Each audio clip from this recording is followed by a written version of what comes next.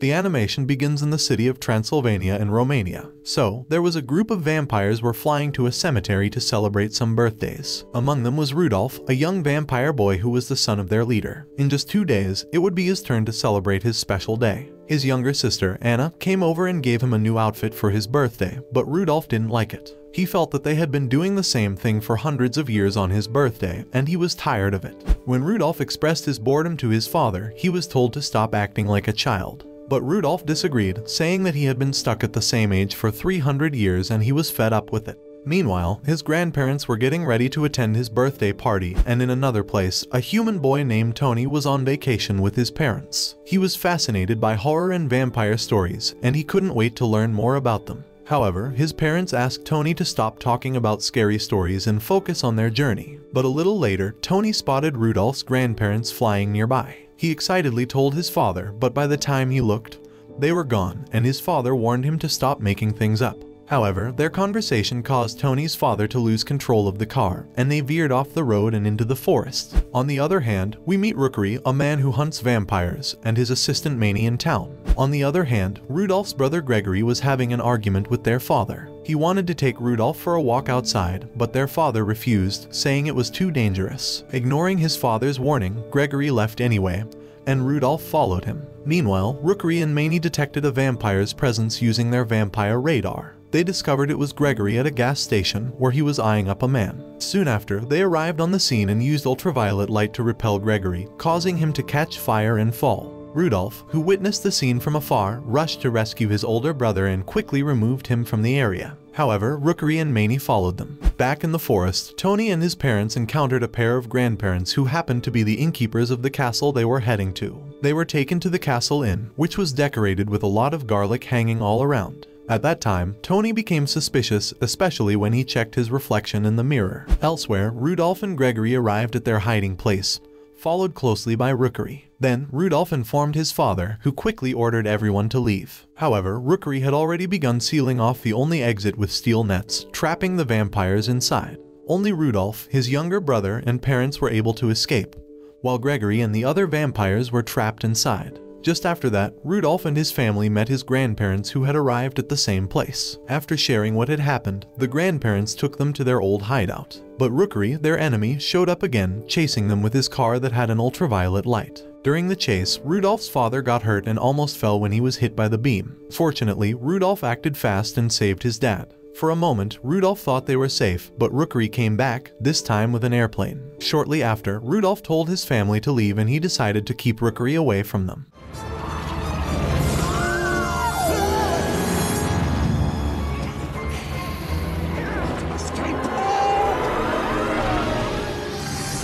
Despite facing many difficulties and dangers, he succeeded in keeping his family safe. But when the sun began to rise, they had to find a new hiding place. While searching for a new spot, Tony woke up and saw Rudolph flying, which frightened him a lot, and he quickly hid. On the other hand, Rudolph saw that Tony's room was open, so he went inside quickly. Then, they finally met each other. There, Tony was scared when he saw a vampire and tried to defend himself by using a cross that was in his room, but Rudolph was not affected by it.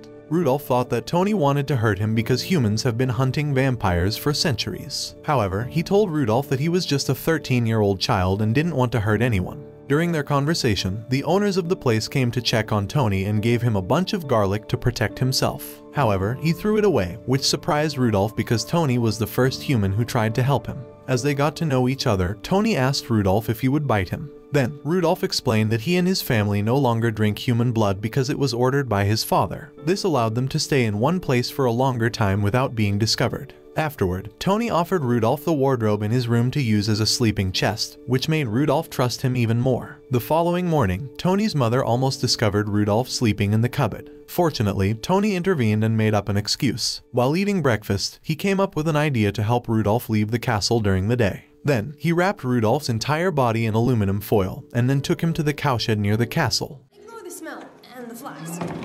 I don't think I can do this. There, Rudolph drank the blood of one of the cows for breakfast. However, Rudolph suddenly panicked and acted strangely. He realized that his family was in hiding from vampire hunters, who were also human like Tony. Then, he tried to calm Rudolph down by saying that he was not like the vampire hunters, and promised to help Rudolph save his family. This left Rudolph speechless. Meanwhile, the cow that Rudolph had bitten had turned into a cow vampire. Then, he began teaching Tony how to fly, which amazed him during his first flight.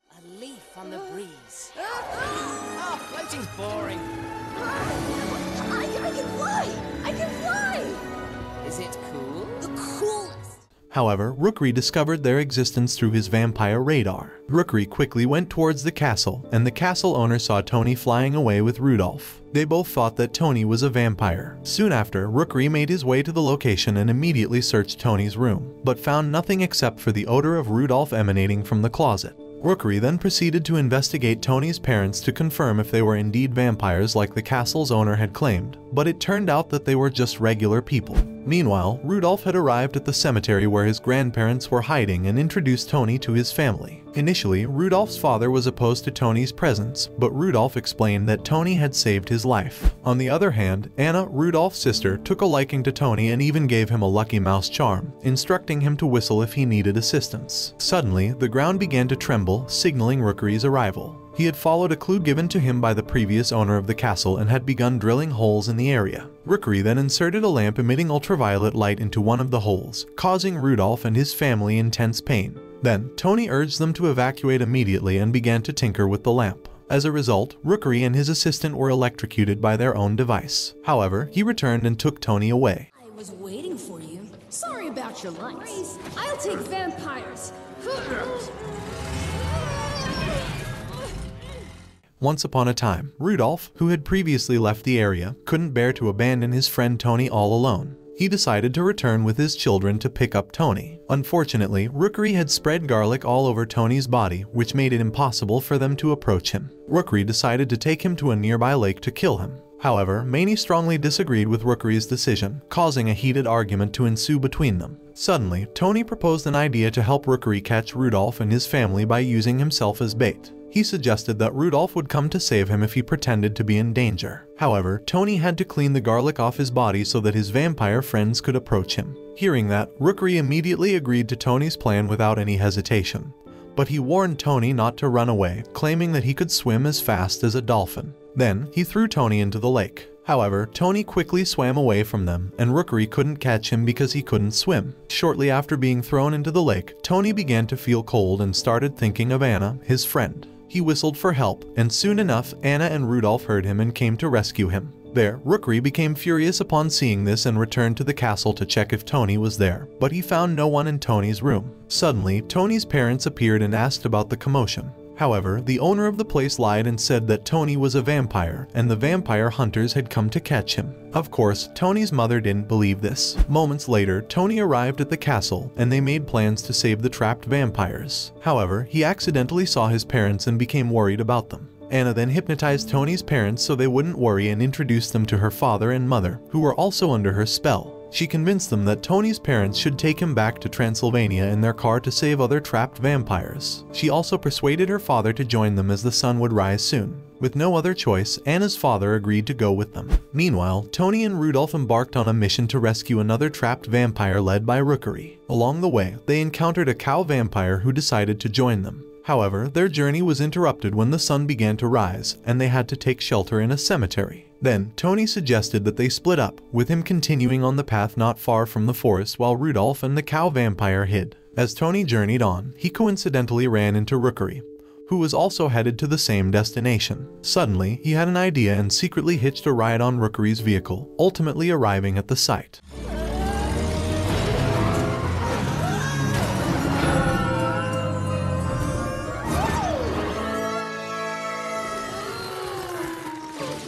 Fortunately, he managed to steal a key that could unlock the steel passage, which also imprisoned the trapped vampires. However, Rookery seemed to be planning something. Meanwhile, Tony's parents and Anna's family began to feel uneasy, unsure of what was happening. As night fell, Rudolph woke up and went after Tony to assist him. On the other hand, as Rookery realized the key was missing, he saw Tony trying to open the basement door. Unfortunately, Rookery caught him, leaving Tony in a vulnerable state. Fortunately, Rudolph and the cow vampire arrived and were able to rescue him before anything serious happened. Despite this, Tony's actions only made Rookery more furious. He decided to blow up the entire place using a bomb he had prepared to bury all the vampires in that location. Surprisingly, the explosion created a hole that provided a way out for the trapped vampires. Rudolph was finally reunited with his older brother, Gregory. There, Tony was also introduced to Gregory, but at first, he didn't believe that Tony was a friend who had saved Rudolph's life and wanted to harm him. However, Rudolph intervened and explained the truth to Gregory. Gregory Sackville-Bagg. Meanwhile, Rookery was persistent and continued to chase after Tony and Rudolph. However, Tony's parents arrived and were shocked to see what was happening, finally awakening from their previous state. Panic, I need air support.